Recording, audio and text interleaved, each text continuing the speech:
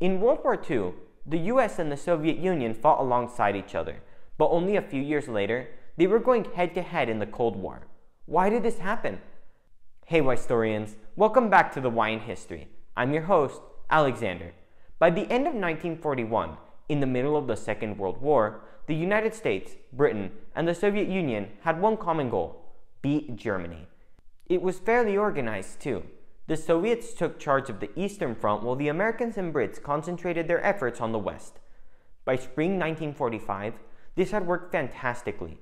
The Soviets pushed the Germans out of Eastern Europe and captured Berlin, while Britain and the US liberated Western and Northern Europe. However, instead of giving control of the countries they had liberated back to the people like the Brits and Americans did, the Soviets propped up authoritarian communist governments in the places they liberated.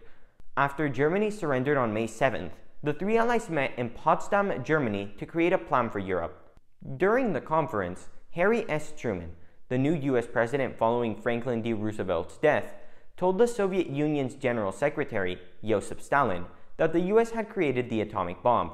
This was the first time the Americans told the Soviets of the bomb, but Stalin already knew. You see, the Soviets had been spying on the US throughout World War II, and their spies were so good that they managed to find out about the atomic bomb, which was so secret that not even Truman knew about it while he was vice president. Even though there were many disagreements, a few things were agreed. The US finally managed to get the Soviets involved against Japan, and most crucially, it was decided that Germany would be divided between the Allies into four occupation zones. If you want to learn more about why Germany was divided after World War II, I have another video explaining this. But now, back to the Cold War.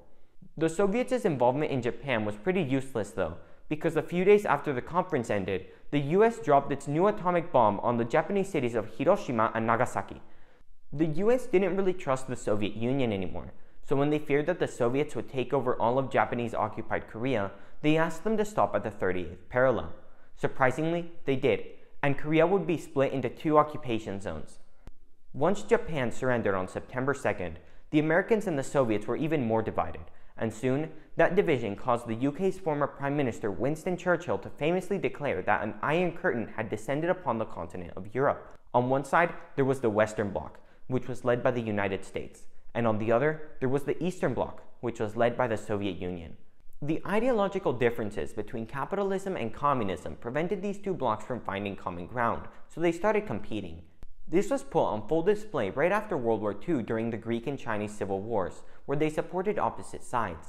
In Greece, the communists lost, and as a result, Greece became a part of the Western Bloc. But in China, Mao Zedong's communists won, and China became a part of the Eastern Bloc. The Soviets also refused to get out of Iran, which had been occupied during World War II, and the Americans were not happy. Because of all that was happening, the Americans announced the Truman Doctrine in 1947. In it, the US outlined a clear goal that would guide the country for the next 40 years stop the spread of communism through containment.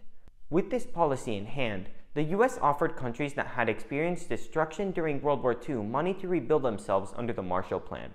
But Stalin, fearful of the US gaining influence over his puppet states, blocked the Eastern Bloc from receiving aid, resulting in the Western Bloc developing way faster than the East.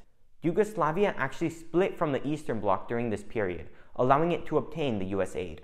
However, it stayed communist, which made for an interesting relationship between Yugoslavia and the West.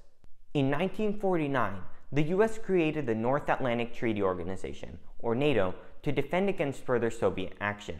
At its founding, its members were Norway, Iceland, Denmark, the UK, the Netherlands, Belgium, Luxembourg, France, Italy, Portugal, Canada, and of course, the United States. The Cold War had officially begun. Don't forget to like my video and subscribe to my channel. Thanks for watching, and I'll see you guys in the next video.